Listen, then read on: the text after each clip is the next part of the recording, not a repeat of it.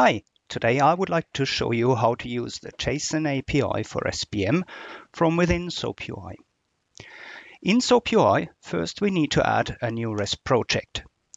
The URI that we need to use to, first of all, query the authentication token that we require to run further uh, JSON API calls against SBM is found in the JSON API documentation to make my life easier, I've copied it here. So as you can see, it uses the host name, the Tomcat port, and then the URI to get to the token services. Once we've added this, we actually need to change the method that we're going to use to retrieve the SSO token to a post, which gives us extra options. And then we need to add a header. The header in this case is with a, the title accept and the value of application JSON.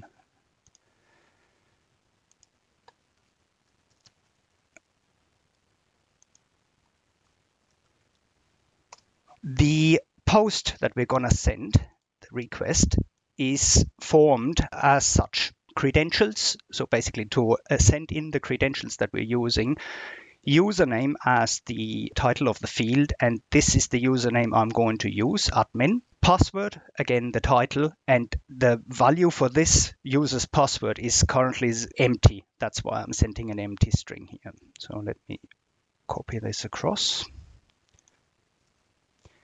And then I press the submit request button. If you're still on XML, you're getting a message that this cannot be viewed as XML, which is expected as we are uh, getting a JSON response. So you can see here, this gives us metadata about the SSO token. So when the token was created, when it expires, the type, the encoding, and the actual value of our SSO token. So let me copy this out from here and I'll temporarily paste it in here. So as you can see, this is quite a long string, so it makes sense to actually paste it somewhere where you have line wrapper enabled. What we need to do is, uh, what I just did here is remove the double quotes at the end and at the beginning of the string. So the actual SSO token is without the starting and closing double quotes.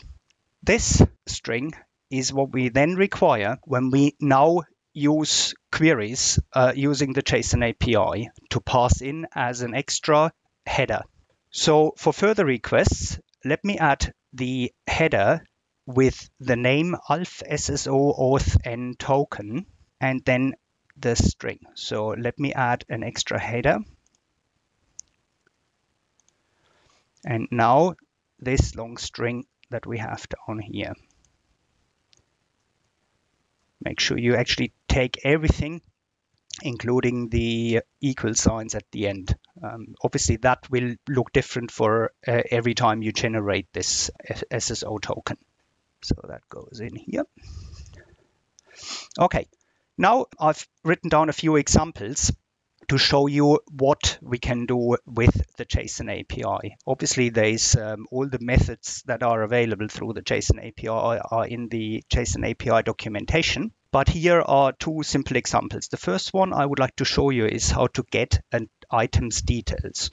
So if we look at the SBM user interface, I searched for this bug 00173 item earlier in the issue defect management project. As you can see, this item has gone through a set of transitions down here and it's got a few fields populated. It's currently with a user named Radhika Tester and it's got this item ID.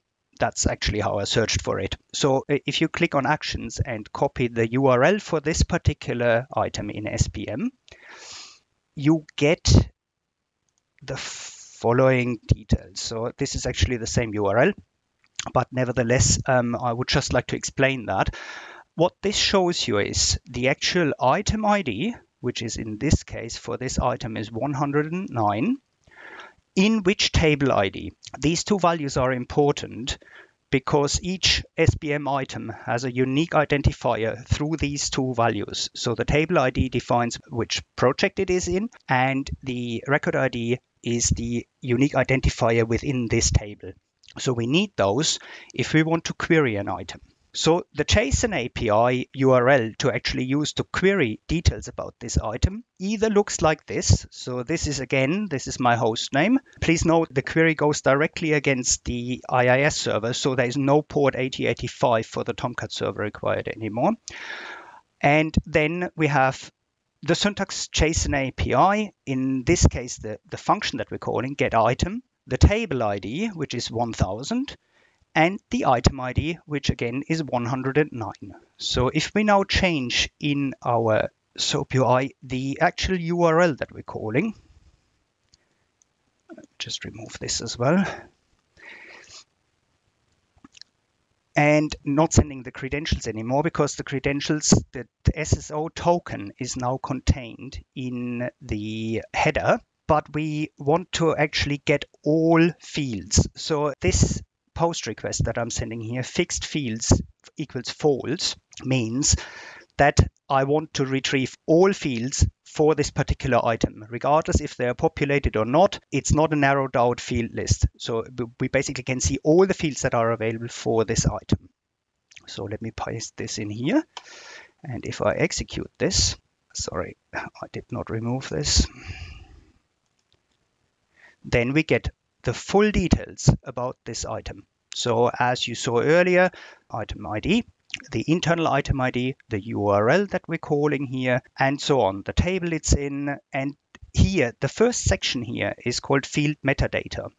What this is, is basically it gives us an information of all the fields available on this item and what they could potentially contain. So it's really the metadata if we want to see the actual data that is held on this particular item, we need to scroll down.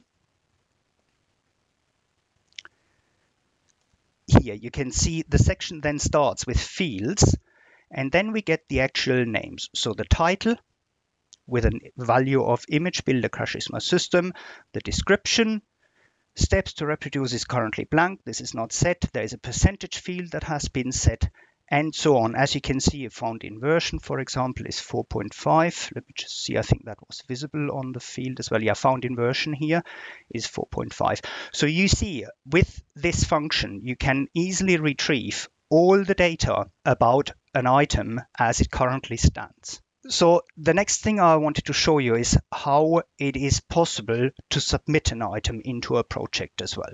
So this is now a different URL. What we need here is the submit to project function in the JSON API. The submit to project function uses two values afterwards to identify where we want to submit into. The first part of this is the table name, in this case ubg underscore issues, and the second part is idm underscore project. Let me show you the best way to identify this through SBM Application Administrator. If you log on to SBM Application Administrator and then click on Projects and then find the project that you want to submit into. So in this case, we're looking at IDM project and then click on Details. You will see the internal name of this project here. You can see it consists of the table name ubg underscore issues and the internal project name for this particular project. So as you can see, this string goes into the URL that I need to call to submit an item. So let me copy this across to my SOAP UI and paste this. So we want to use the JSON API into submit to project, uh, use submit to project into UBG issues IDM project. So let me remove this. Again, we need the accept header uh, with a type of application slash JSON, and the ALF SSO authn token that we captured earlier. So the authentication is gone through. And now a little explanation of the actual payload that we're submitting here.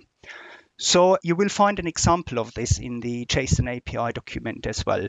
But I used basically fields from the get item details response earlier and modified the values that I want to submit. So as you can see, the, the structure is quite simple.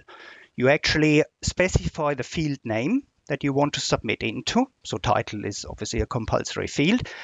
Then the string, and then you build up a comma separated list of all the field names, string combinations that you actually want to submit. For integer fields, obviously here, in, for example, the percentage, it's not a string that you're passing in, it's an integer. And for multi-selection fields, it's a bit more tricky. You really would have to look in the back end to see what the values are that you can't submit into, but that would break the, the time frame for this video. Found inversion is a string again, and functional area I got out of here. Let me just show you this quickly. I actually copied this from the values here. So functional area for the previous item submitted has the ID 30, which equals a value in the drop-down field of user interface.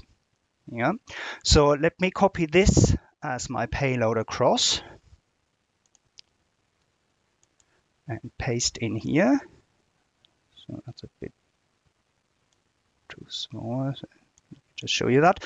So if I now click on submit request, it creates a new item. So with fields, first of all, you have a similar structure here. Um, it basically shows the item ID that has just been created, the URL to that item, and so on. But most importantly, you can see at the bottom again, this is the metadata, the, the section at the top. From fields onwards, you can see the values that have been submitted. Yeah, so title was the test submit using JSON API 2 and so on. So uh, let me just go back to the actual user interface and see if this item was generated successfully. So if I now search for And here we are. So as you can see, found inversion has been set to 11.3.